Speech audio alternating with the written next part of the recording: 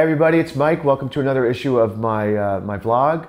Um, we're here at the world headquarters of Newmark Knight Frank, who's hosting us today.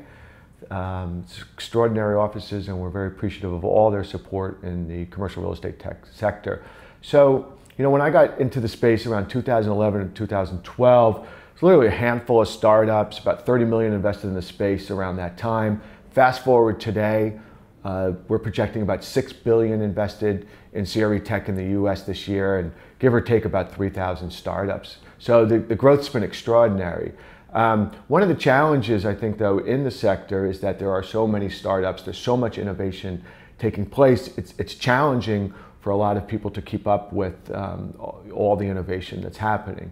So at, at CRE Tech, our mission is to help everybody discover the great innovation, the great progress that's being made, connect the technology and the commercial real estate sector. So in this uh, episode of my vlog, I wanted to shed light on four startups that, that have really gotten my attention that I think are doing really innovative things in the space.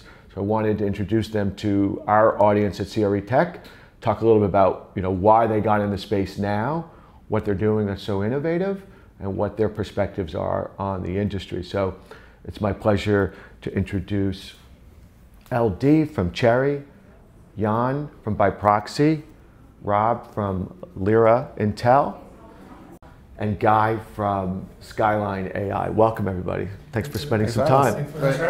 So, um, LD, let's start with you. So, give us a little bit uh, short intro in terms of you and your background.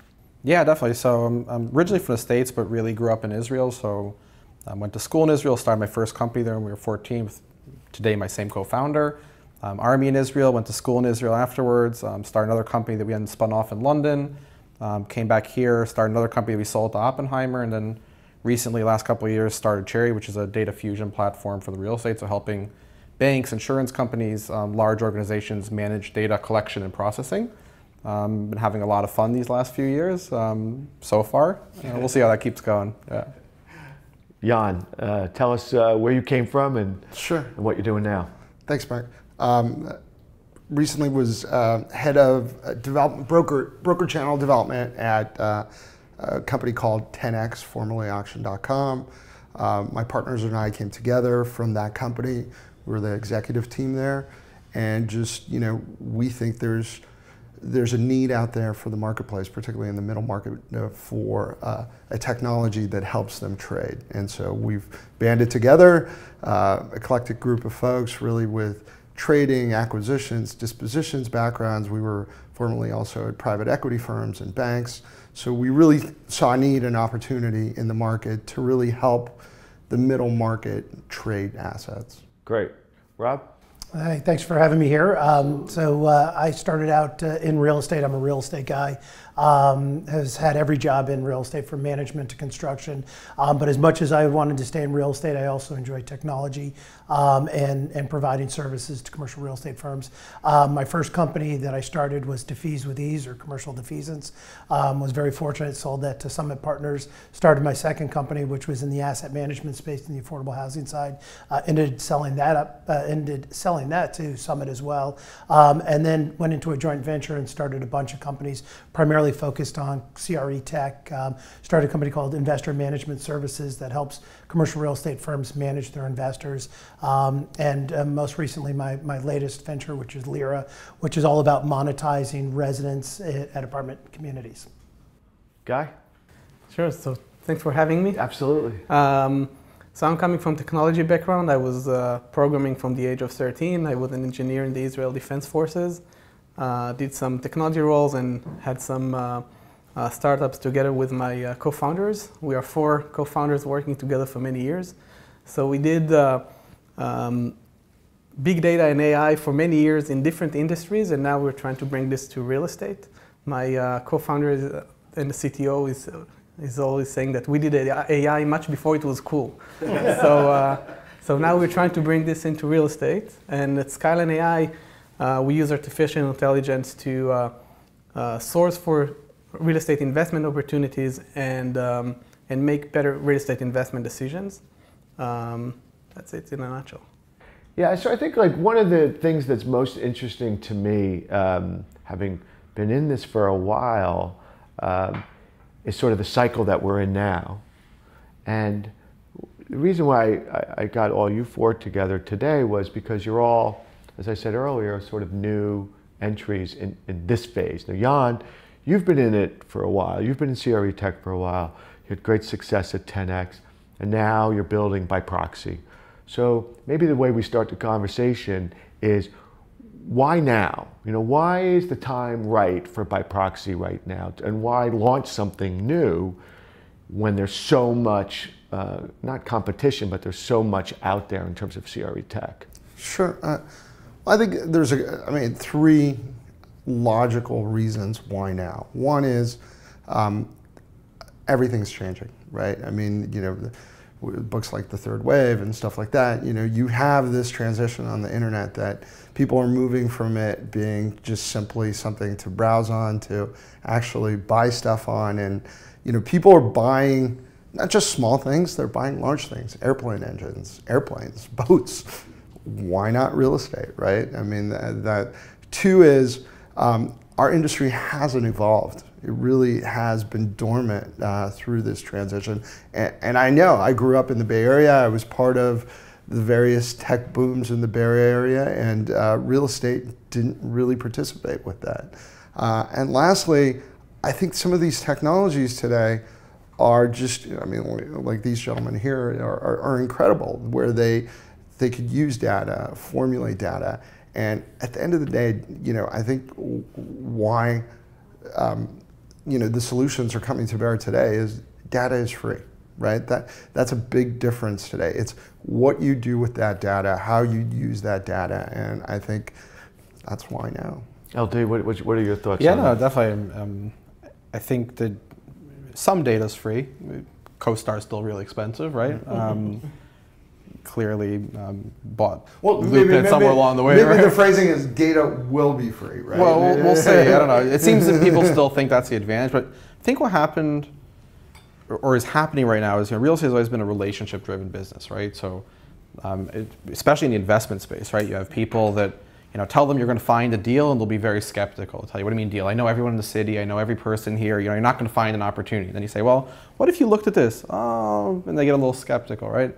Um, I think we're in that process where that world is starting to die out. Um, we've come to the point where the relationship driven aspect of the business needs to be augmented by humans, by, by technology. And we saw this happen in other industries, right? We saw um, public equities go through that process, 80s, 90s, and eventually early 2000s, to the point today where the notion of somebody trading stocks at home and, and beating the market is just unfathomable, right? Um, then we started doing it in private equity. We did it in the later stage private equity. Other companies were doing it in early stage private equity and still happening today in early venture. Um, Chris Farmer and his guys, right? I mean, people are really doing that in the early stage. And then you look at real estate and you realize it's still very much a 100% human driven business and, pen and paper. And, and you, all you have to do is just a little extra to, to give them just something to, to better augment that decision making process. And beating benchmarks, right, becomes all of a sudden a really easy task to do, right? So data is really becoming king. Rob, from your perspective, same kind of question. Like you, you've had multiple successes in, in technology and real estate why Lyra now? You know, where did you, what did you see as an opportunity? Oh, because I, I, think it comes down to it's an it's an implementation issue that we have in this market. It's not this technology has been around. I mean, five years ago we were talking about data lakes and and data warehouses and things like that, but nobody could absorb it uh, unless you're at the very very high echelon of, of users. So sure, your equity residential, your your big uh, power users would, I typically go in the lower end of the market. I like to go where most of the operators are, the ones that have 10 to 20 properties. And, and I think what, what we try to do, and, and the reason why I started Lyra now, is because for my past life, the, the consumer is only going to take so much, something that they can understand and they can implement and they can see results. And Lyra is all about generating revenue for a property. So Lyra is an app that when it basically provides goods and services to residents at a, at a property, when they buy those, those things, they get money and, and the, the property gets money. That all of a sudden drives NOI. And so when you have a portfolio and you can't just raise rents because your markets are flat, where else can you go? And that's, that's what started it. Got it. Guy, from your perspective, you know, you and your co-founder and the team that you've assembled, you guys could have gone and in, into any industry, right? I mean, you probably had multiple options of what you were looking at. So, why did you pick commercial real estate? And I bet you're asking yourself that some days, like, but really, why? Yeah. So we find real estate very exciting. I mean, when we we uh, we did, as I mentioned at the beginning, we did AI for uh, we did in healthcare and later in in video streaming industry, and this is completely different industry. Um, but after after we sold the last two companies, we started to invest, and then we invested in real estate, and we saw how uh, how um, in terms of technology how back this industry is. Um, so we started to do something that we thought that will make our investment better. Um, but we thought at the beginning that this is a, a personal problem. Uh, and then we went to hear a talk. Uh, it was a commercial um, real estate um, um, venture, uh, not venture, sorry. Oh. went to hear a talk. It was a commercial real estate uh, event, and there was uh, someone from the uh, institutional, in, large institution. He spoke about the analysis process in the institution and when he finished, he, raised, uh, he opened for question. I raised my hand and I asked if, uh, if they're using technology in the underwriting process, in the sourcing process, and what kind of technology. So he thought for a few seconds and then he said, What do you mean if we use technology in, in the process? Of course, we use technology. We use tremendous amount of technology. First, we all use computers, and all the analysis is done with Excel files. So I think at this moment we understood that, um, and there are much more than that, of course, but um, at this moment, we understood that this is not just our own problem. This is something that should be uh, solved and changed. Um, and I agree with my friends, all everything that you said about the timing. And I think in our specific uh, business at Skyline AI, one more thing is that uh, real estate investors in the last 10 years or 12 years already, um, if in order to make a good yield, all you needed to do is to invest. And most of the people who did very good in the last 12 years will say that the next 12 years will look different. So I think this is the timing when you really need uh, an advantage. And this is what we're trying to create. Got it, got it. Let's talk a little bit about how uh, your sites actually work right? Because I think that's really important is that it's not just the idea, but it's what's behind it. So Rob, how, how does the actual site work? So, so we have uh, basically three offerings. And so um, our primary focus is, is multifamily space, but we also are in office. But basically what we provide is, is three solutions. One is for on-site property managers, and that's their engagement toolkit. So it's a CRM, it's where they can create events, it's where they can track the behaviors and actions of what the residents are doing. You um, know, do they have dogs? Are they going to the dog park? Are they going to the gym? Are they you know, doing the things that, that we want to know at a property? The second is an app that the residents use, and the, and the app is uh, called Caboodle. And basically, the Caboodle app is not only the way that they communicate with the property, you know, they can pay rent, they can pick up packages, they can do all that stuff, but the app is much more centered around community, not just property. And I think one of the things that we've realized that, uh, and there was a recent study done um, by Reputation.com where they were saying, what kind of amenities do the new tenants want, the new residents want? And it wasn't the new rock climbing gym. It wasn't the you know the beer garden. you know they, they want fast and easy and friendly communication, and they want a sense of community. And, and so um, so our app basically goes out and um, goes and, and, provides events and things that are going on, not just in the property, but in, in the entire community. Um, and we put all of the actions and the behaviors of what the property manager is doing with what the resident is doing, and we put it and we assemble it into a BI tool. And so a BI tool is where the asset managers and the marketing managers and even the property managers can see what's going on and are the actions and the events that they're doing, are they driving better engagement at a, re- at a property? Are they driving, um, and because better engagement for us means more monetization and less, less or more retention. Right. I didn't realize beer garden was an option as an amenity. oh, absolutely. That, that's an option. Absolutely, absolutely. I, am going to bring that up on our next board meeting. uh, Jan, sort of same question. So uh, what, how does Biproxi work and who's the market? So the, the market is really, you know, the U.S. trading environment is roughly 700 billion in the U.S. That's about how much in assets, and you know, that's duplex, triplex, and above.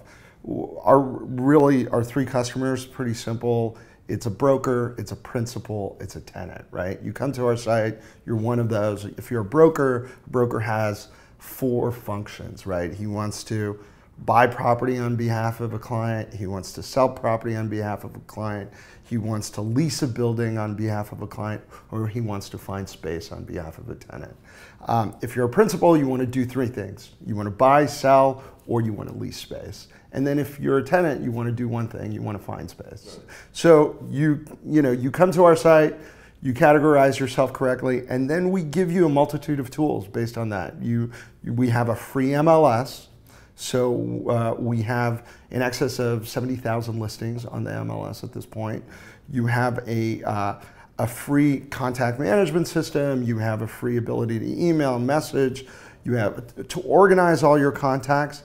And then the last part of it is if you need help selling a property, buying a property, leasing a space, we have help for you. And we have help for you in in a manner that the way the industry works. The industry works on an a la carte basis. When someone needs it, they buy it.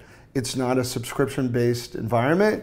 And then we also can help you run a process uh, for selling an asset, buying an asset, all those things are taken care of. Great, great. LD? Yeah, How does now, it work? now I have the fun task of making back-end data sound sexy. um, yeah.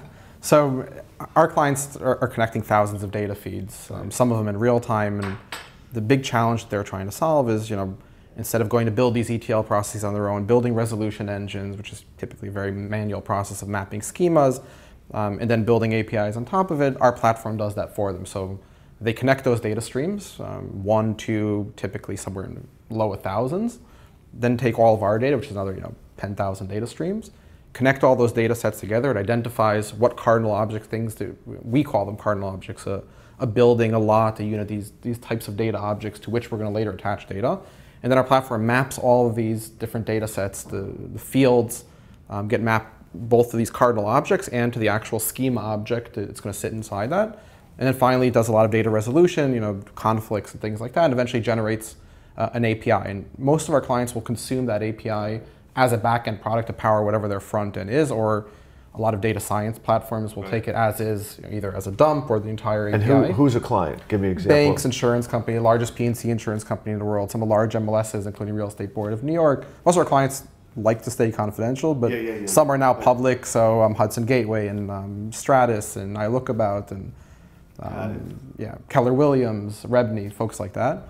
Um, Which are the so, ones that want to stay private? yeah, so like, all banks, all the insurance companies, all the title companies, right? Uh-huh. Um, they tend to be very cautious, and it's funny that process working with them has has been terrible, right? I mean, they're awesome clients and they're really smart, and we love the way they use our data, but onboarding with them is just hell, right? So it's compliance, which takes one to two months best yeah, case welcome, scenario, right? Welcome, my friend. Welcome. And then you know yeah. ongoing compliance. Welcome yeah. to our world. Yeah, it's yeah. been deal with the property manager. Yeah. It can't be worse than the banks. it can be. Try so. on-prem solutions. Yeah, yeah, it gets really fun. Guy, now you got to you got to dumb this down for me, okay?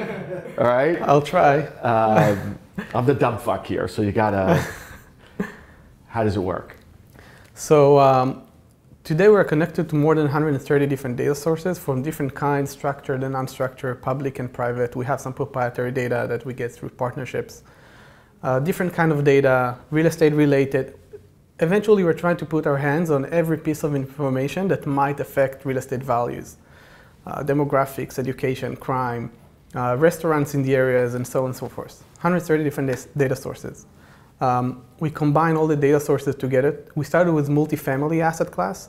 Uh, today we're monitoring more than four, uh, 400,000 different properties, which is almost all the multifamily assets in the US that has more than 50 units. And for each, unit, for each property, we have like 10,000 different data points, going back in time up to 50 years, depending on the data source. So imagine like a huge data lake um, about multifamily. This is the, our ground truth of data. Um, and then we have our AI teams that are responsible for extracting uh, insights from the data and generating predictions. So we're trying to predict everything from what will be the asset value in the next few years, what will happen to the occupancy, to the rent, and so on. So looking from the market level to the submarket and the neighborhood and the asset. Um, so we have a platform that eventually you put in an asset, for instance, and you get all the information you need to know about the asset, including our projections of what will happen to the asset. Um, but regarding the clients, so we do not license the technology. We use the technology uh, for, we keep the technology for ourselves. Uh, and we partner with, um, with large real estate investors and we help them to deploy capital into uh, right. multifamily. And there's, there's a, I think there's a case study or an example or something on your website that I was uh, right, of a, of a, I don't remember the website.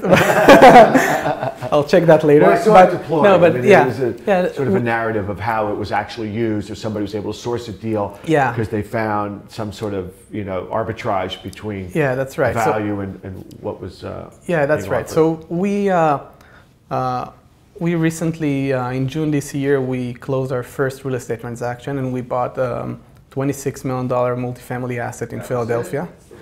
Um, yeah, like LD, uh, we have partners that don't like publicity, so uh, I can't I can't tell a lot about the, the specific transaction, but the idea is that we, we are able to, to find investment opportunities using the platform to predict when an asset is going to be marketed um, and what the, what the pricing we should pay at this timing at this time. Um, and we partner with, with uh, real estate investors institutions, private equities, and so on, investment Why managers. Start with multifamily specifically. Um, I, I, think two main reasons on the on the tech side. There's we find that there's much more data in this space, more transparency, um, which make it easier for us as a as a uh, something to start with. Uh, and on the investment side, um, our our investors still have large appetite for multifamily investment.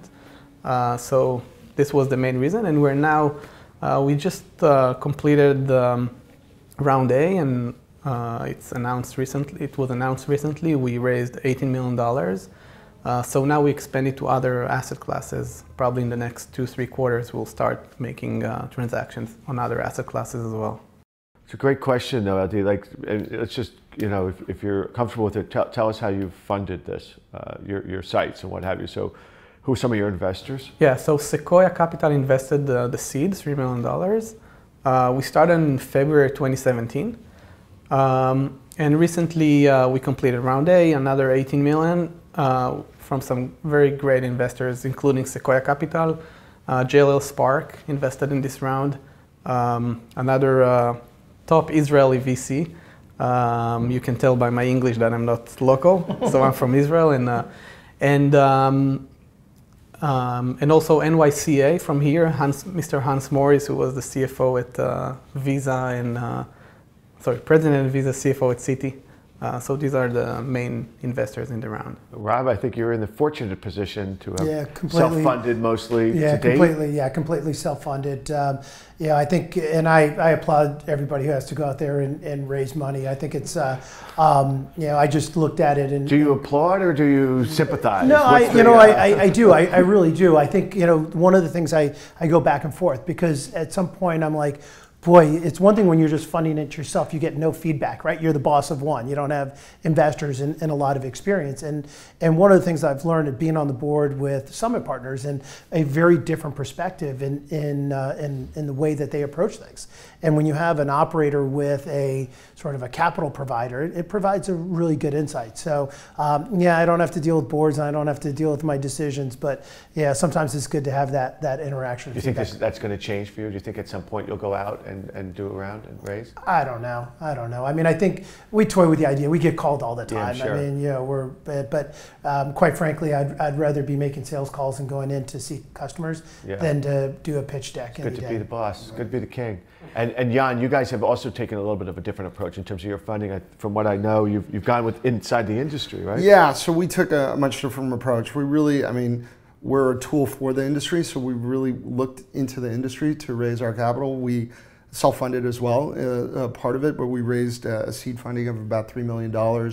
We went out to the brokerage community. We have a a, a, group of founding broker councils that were kind of. What's our, the advantage of doing it that way? Well, you know, the advantage is like you have your customer base believing mm. in what you're doing, right? I mean, your customer base is investing. The better we do, the better they do, right? And so ultimately, I mean, we we look to continue doing that um, potentially. And then we raised it from, uh, you know, my partners are from very institutional places. We're also out of the brokerage firms. You know, Gordon, uh, our CEO, was a CBRE broker for 10 years. I was a Marcus and Millichap agent for over seven years.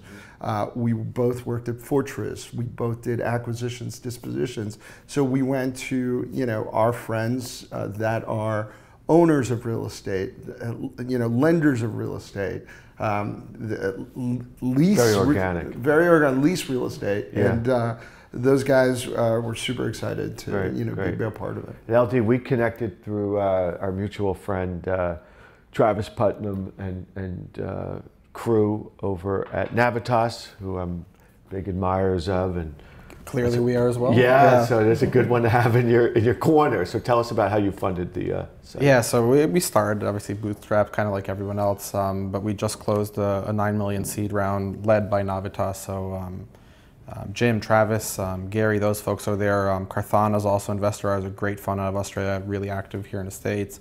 Um, ILookAbout, which is uh, Gary Yeoman is the chairman there, so founder of Altus Group, acquired Argus, Real Matters. Um, really amazing investor, really understands real estate data. Um, Andrew from DreamIt, um, yep. those folks. Oh, wow, terrific. Yeah, well, also um, Dave um, for Dave and Ryan, right? Um, Red Swan, I guess, is mm-hmm. whatever the, the, mm-hmm. the, entity that the, the last one. so really great investors. Kind of a mix of folks who really get venture, but within the, the real estate yeah, space, yeah. and folks are just strategic yeah. fit. we thought a lot about, you know, what's that? What's that right mix? I kind of like having a board. Um, I like having people that can a keep us in check, but at the same time, the kind of board that it's not going to you know come every every Friday and say, hey, what, what, are our you know look at the model. We're not we're not where we're supposed to be, right? Um, but folks would say, hey, what can I do to help, right? How's this working out? You thought X, you know, how's that how's that playing out that thesis? So I actually really like that. Um, and the flip side is right that um, you do have to kind of answer to people, but that's something which is um, okay if you find the right partners. And um, we're very aggressive, clearly, in the market, um, and we have partners who are somehow even more aggressive than we are. So it works really well. Yeah. So I think um, you know, in the couple of minutes that we have left, um, one of the things that I've, i talk about a lot in, in sort of the climate that we're in now is that you know investment and adoption is clearly a big gap in the industry, that there's a lot of money coming in, but if you looked at the actual adoption within the sector, it's, it's not really keeping up. And I don't think that's necessarily a bad thing. I just think it's a reflection of a very young industry and ecosystem. And I think it's, a, it's gonna, there's gonna be many factors that'll propel it, whether it's demographics or whether it's just tech overall. But one of the big questions for all of you is how are you going to get adoption for your site, your, your, your platform, because it is the big challenge, right? Um, Rob, you're building a community, you're building a marketplace, you know, you're going to the institutions, you've got, to, you know, to market to, um, you know, the, uh, real estate owners and what have you. So what are, what are your thoughts? I'm not asking for your marketing plan, but how you see sort of scaling in this industry. Guy, I'll start th- with you. I think that one of the reasons for that is uh, it's two different industries. One is running very fast, right, the tech business, and the real estate business by nature is much slower. I mean, you paint the wall, and you need to wait for the paint to, to get dry.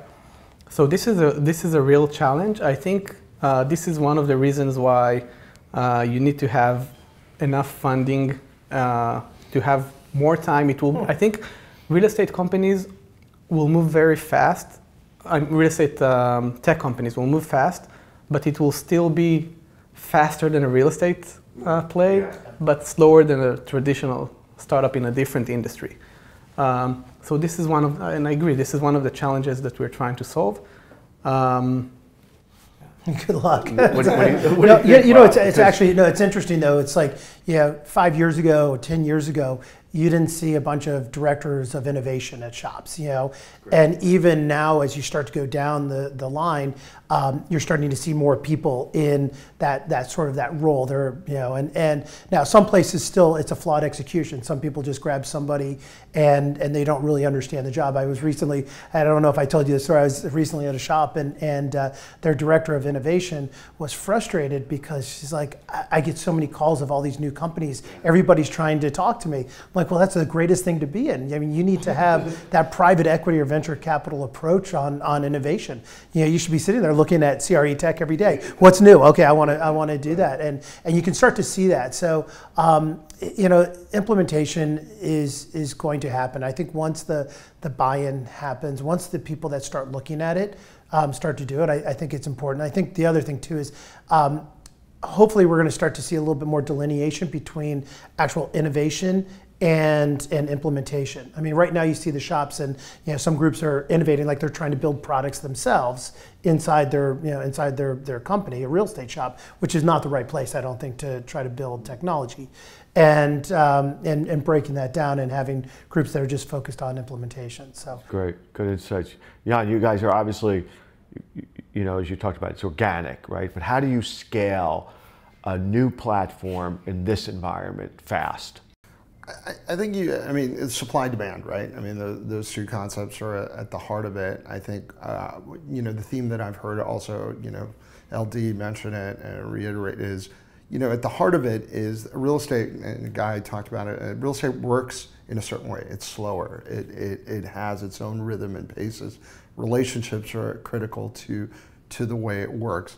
Um, I kind of equated, you know, technology in my word is high IQ real estate is high EQ, right? Emotional, very, and it's that marriage is coming together. It's, you know, it, hasn't been combined just quite yet, but it's coming together where you really provide these folks that are that are great. They're highly um, capable people that have great emotional intelligence, but they need tools.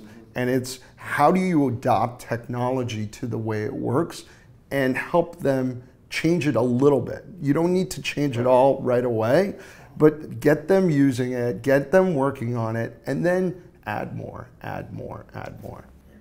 LD, what about from your side? I think we're Cherre, a little how, how fortunate guys, yeah. um, in the sense that we don't have to educate the market about the problem. Yeah. It's a problem they already have. So um, we have a long list of clients that we need to onboard, and it's just a matter of, of executing on that properly.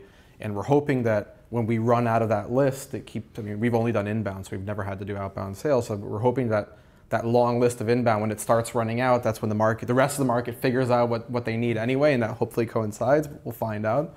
Um, educating markets always a difficult um, challenge. Um, I think what's happening in, in our world is that we're replacing mostly processes that people that are very human intensive, right? So it's building your own engineering team, which is very hard for organizations that are not tech driven they might have a director of innovation, but you know, their engineering team is not the kind of engineering team that can really run anything. And some of them have really great engineering team. I think CBRE is probably a good example. They have a you know, whole building worth of engineers out in Dallas, but then you ask what they're doing, they're building these app end applications, or they just had this new thing about they're using Azure for something. I don't know. Um, so there are some folks like that who are you know a little further ahead than some of the other folks, um, but most of them have no clue what to do. So replacing an operation that's mostly done by a whole you know, bullpen of analysts doing things very manually, right, putting stuff in Excel, um, that's a process that's fairly easy to, to replace. All you have to do is explain to the business unit, you know, how much are you paying a year? $3 million. That could be half, you know, worst case scenario, faster, better than right. anything you're doing right now, and it seems a fairly easy value proposition to sell. Um, but as I said, you know, we're, we're in that fortunate position, at least for the next yeah. you know, 18 months, if I had to guess, where we just have to knock out all this long list of folks who've reached out some Right. What would be your message though? Like, you know, I mean, I, I interact daily with either the commercial real estate brokers or commercial real estate developers or, you know, uh, private equity or uh, banks and what have you that are that are in this ecosystem, and I'm trying to get them to pay attention. Right. Every day, that's what I'm doing. Every single day is, hello, pay attention here uh, and it's challenging. I mean, our conferences are scaling, obviously, is a great sign for everybody because that means more people are paying attention. But, like, what to your former brethren, Marcus and Millichap, and, and the other firms that you deal, what, what do you say to them that you know gets them to to want to pay attention to what's happening here because clearly something's happening, and it's, we're not going backwards. There's no bubble here. I mean, this is transformative technologies that are going to, I hate the word disrupt, but they're going to change the way the industry works. What do you say? I say embrace tech. I mean, I say embrace tech because uh, it's here to help you, not to replace you, right? I mean, I think that's a lot of the messaging that I hear from that, like, I'm going to be out of a job in, you know, whatever, you know, five years, six. You're not going to be out of a job. Right. I see you know, the, Well, independent con- a lot of them are independent contractors Right, too, right? right. So the- it's, Yeah, listen, it's not really, the concept. look, it's get better, more efficient. You've got a thousand great relationships. You've got a database of five thousand, whatever. Great. Well, you know, technology could exponentially improve that, and it can potentially improve your existing relationships. It could add new relationships. Use it to do that and organize your stuff better. You have tools that act and behave like your back office, right? That that you could be front and center if you're a principal talking to more brokers. If you're a broker, you're talking to more principals. If you're a tenant, you're talking to principals and brokers to get space. So use tech. Rob, what about you? I mean, you've been in real estate your whole career pretty much. What What do you say to your friends, your community, people that you're talking to as to Uh, it's, why? yeah, it's, it's tough because it's you know they're all deal junkies, right? So you have a you have a, a typical real estate firm is like you know four partners that are all doing deals, doing deals, doing deals, and um, don't care about anything else. Now we're also in a peak of a market, so you know from the multifamily side, you know this first thing I'm probably going to do is look at what he's looking at because I know the last deal I chased on the multifamily side was 65 bidders. So you know it's to, to invest in myself. So I, I think that's you know it's really hard to get the attention of something unless there's that immediate result. What's that immediate benefit? And I think that's the only thing that we've been able, where I've been successful in this space is all about finding they need to have some type of candy afterwards. What's the what's the immediate result? I, I do a deal, I get rewarded, I feel good. Oh, okay, I, I you know, install investor management solution. Oh, I get more investors because my investors are happier and, and all that kind of stuff. I install Lyra, I make more money at a property. And that's that's sort of the only way I've I've figured out how to do it. yeah, clearly that's your value proposition, right, guy? I mean, that feeds right into Yeah. what you're doing. Yeah, and I, and I must say, by the way, it, it has to do with the timing and the pace and the adoption that you said you mentioned. Um, I think that uh, technology is coming into real estate. That we we know that. I mean, uh, and and a lot of people understand that today. We were surprised. I mean, when we when we started the company, uh, one of our um, challenges or one of our thoughts what what will happen when we meet the veteran real estate investors.